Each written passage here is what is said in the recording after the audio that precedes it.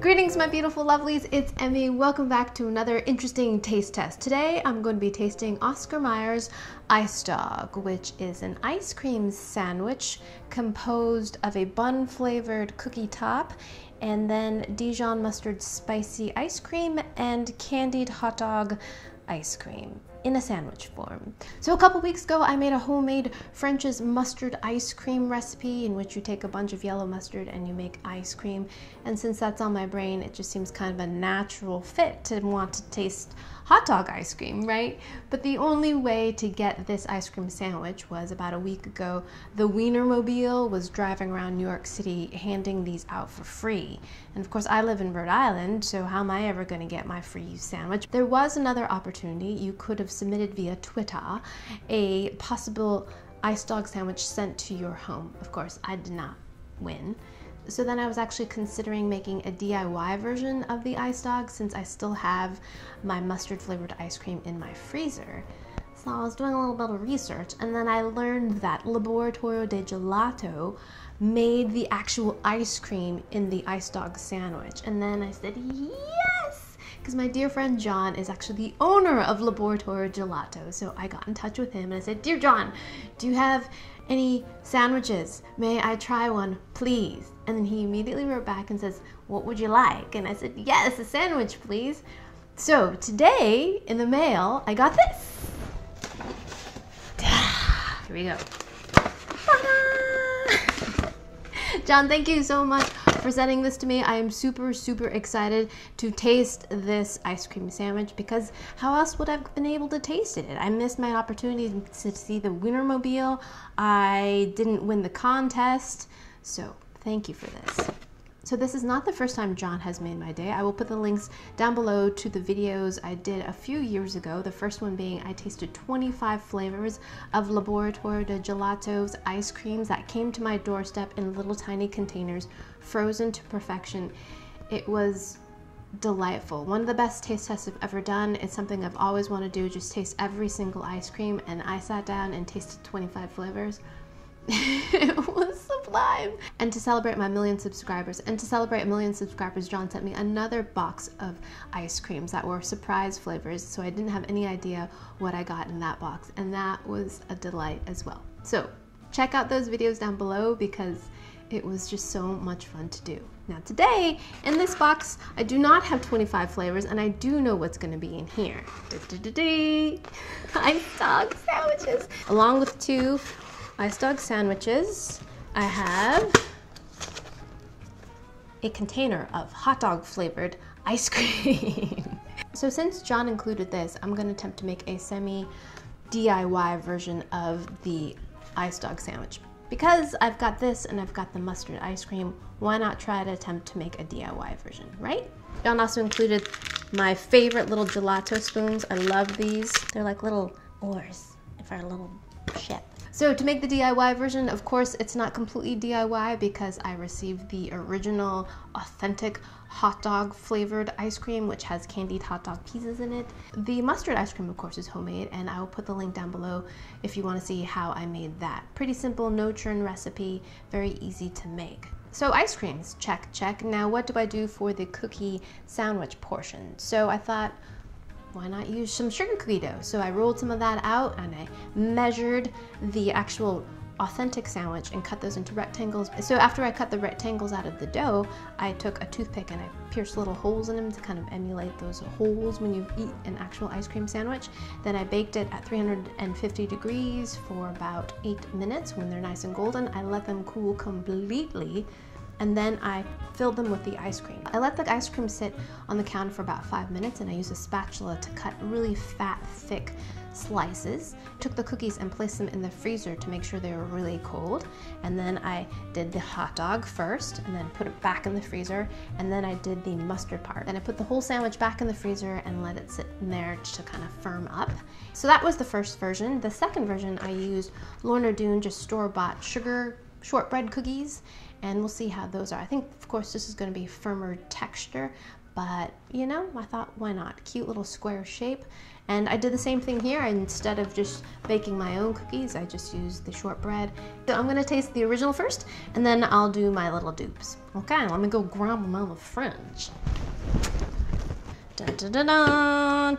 Ice dog. Before I taste this, actually, I should mention because I know I'm gonna get comments. I'm not prego, by the way. I know this is an odd flavor combination. I know my dress is blousy, but that does not equal pregnant. Oh, weird combination. Blousy dress. Emmy must be pregnant. No, I'm not. Street cleaner going by. Hello, thank you. I appreciate that. Thank you, but I'm filming. Dee, dee, dee. Did any of you get a chance to try this sandwich? Let me know if you did and what you thought of it. Wow, here it is. Thick sandwich. Look at that. The cookie wants to separate. Go back. Well, that's good because now you can see in the PR photos, the mustard looks a lot brighter. In real life, it's a lot subtler. It's almost the same color as the cookie. Now we've got the hot dog side here, and these are the candied hot dog bits, and here's the mustard. So, I wish they did the little holes. The little dimples would have been cute. Very nicely made. Alrighty, let's give this a taste. Itadakimasu.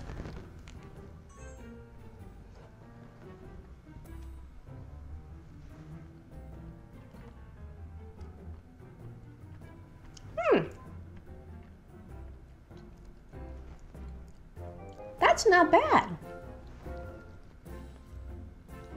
The cookie tastes a lot like a sugar cookie. Mm-hmm. No, it's not as sweet as a sugar cookie, but there's definitely butter in there. It's supposed to be bun flavored. I kind of get that, but it's still sweet. It's nice. It's like a light, kind of shortbread style cookie. A little bit more textured like a sugar cookie though, rather than a shortbread, but nice and buttery. The ice cream is nice. Nice work, Jon. Mm-hmm.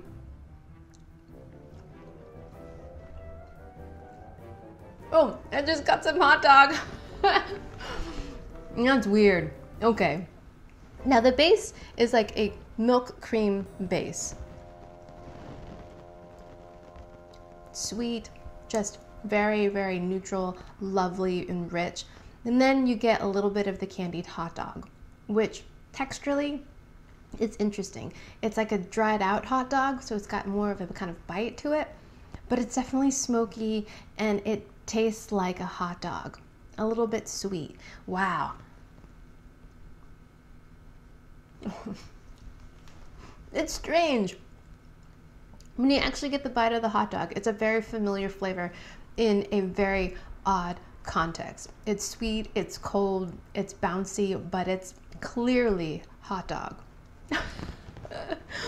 wow, that's odd. So the first couple bites, you may not get a hot dog piece. You're just like, oh, it's ice cream. And then you get a hot dog piece and you're like, oh yeah, that's this hot dog.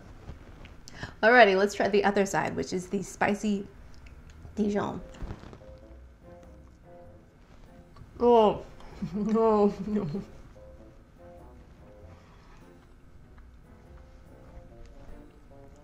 And yeah, my reaction is very similar to the French's mustard ice cream. Very, very clearly and aggressively mustard. Mustard has a very strong flavor, and it is very apparent here.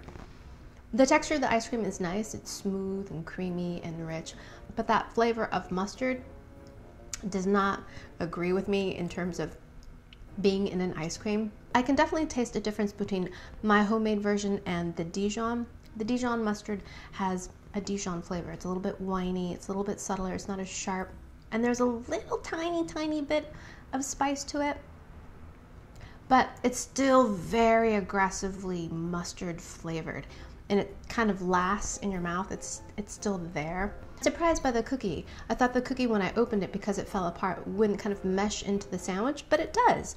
As you bite into it, it kind of softens and it's a great delivery mechanism for ice cream, just not mustard flavored ice cream and maybe not hot dog flavored ice cream. But this is a gimmick, of course, right? So it's doing what it's supposed to do. It's not necessarily supposed to taste good. It's just an anomaly, a little fun thing to try.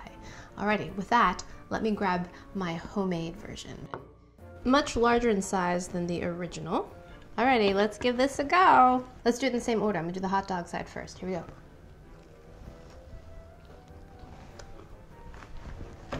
Mmm,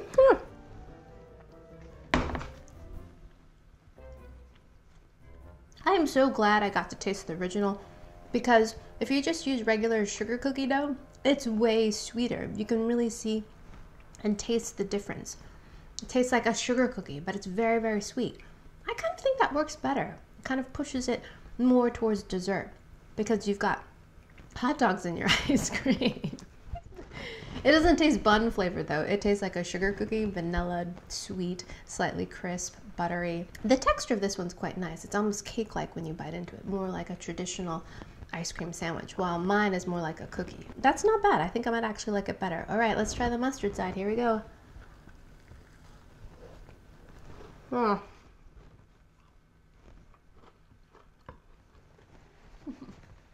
Mm.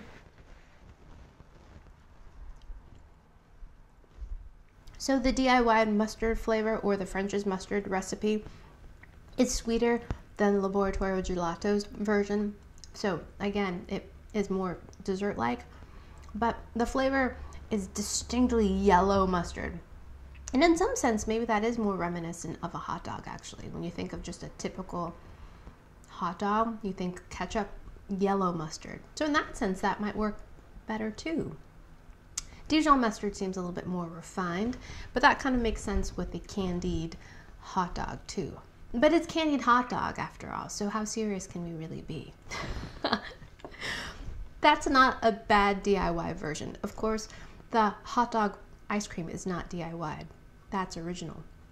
But for just something I just put together quickly, that's actually not bad. I like the fact that it's a little bit sweeter than the original. It makes it feel more dessert-like. Alrighty, let me grab the Lorna Doone version. Now these turned out really cute, don't you think? Little matching squares of ice cream sandwich. Alrighty, again, I'm gonna try them in the same order. I think texturally this is gonna be very different because these cookies are so much harder. Here we go.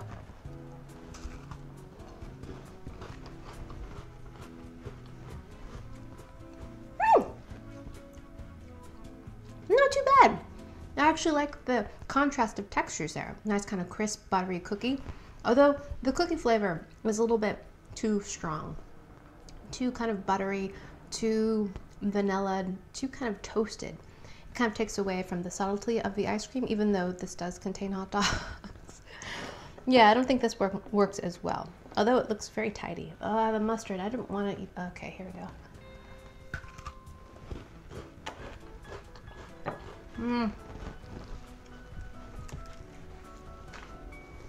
That cookie actually does a better job of holding up to the flavors of the mustard because the flavors are pretty strong in that cookie. So yeah, of the cookies, I think the Lorna Doone cookie actually holds up best with the mustard because it's got a really strong toasty, buttery flavor to it. So my opinions here are based on a certain context, the fact that I'm eating a mustard hot dog ice cream sandwich, but I like the original. I feel like it's very refined and considered even though the flavors are very strange and odd, because they are strange, they are odd. There's no getting around that. The homemade version made with the sugar cookie I like because I like the sweeter cookie. I feel like it makes it feel more dessert-like and more whimsical in the sense that it's just like a ice cream treat. It's not as fancy. The Lorna Doone I like the least, I think, but I feel like this cookie did stand up and pair well with the mustard ice cream because they're both very, very strongly flavored. So there you have it, my thoughts on the Oscar Mayer hot dog and mustard ice cream sandwich. Let me know down in the comments if you had a chance to taste the ice cream sandwich, uh, if you would taste it, if you would make it, I wanna know. Big thanks to Jon for making this episode possible. Please check out my other videos I did about Laboratorio Gelato's beautiful ice creams. And yeah, thank you guys so much for watching. I hope you guys enjoyed that one. I hope you guys learned something. Please share this video with your friends. Follow me on social media, like this video, subscribe, and I shall see you in the next one. Toodaloo, take care, bye!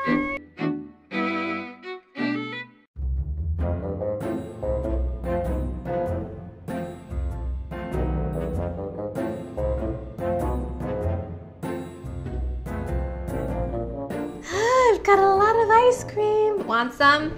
Want some? Want some ice cream? Want some? Want some?